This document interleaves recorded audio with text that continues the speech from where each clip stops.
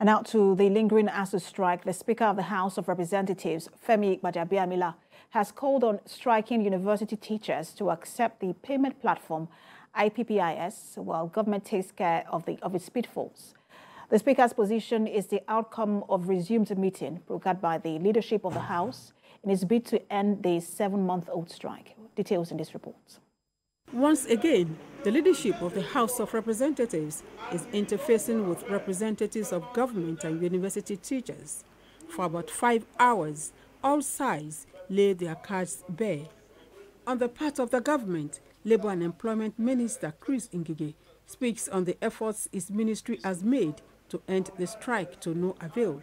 And through neg uh, negotiation, what we call collective bargaining agreement, you will arrive on what is good to be paid to you, subject to the president's approval. He accuses the ASUU president of inciting Nigerians against the ruling party and the Labour leader fires back. This is how this is how the Minister of Labour misinformed the public. Uh, Honourable Minister. This is how you misinform the public.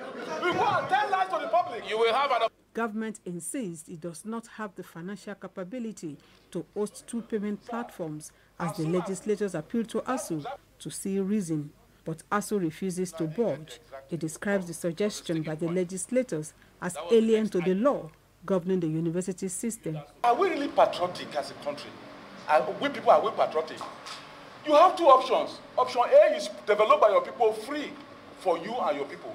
Option two, you are paying billions of naira every year for some to a foreign for, for a foreign company. Will it be right to say that the issues that have been identified that have defied solution will be the UTAS problem and the salary to pay.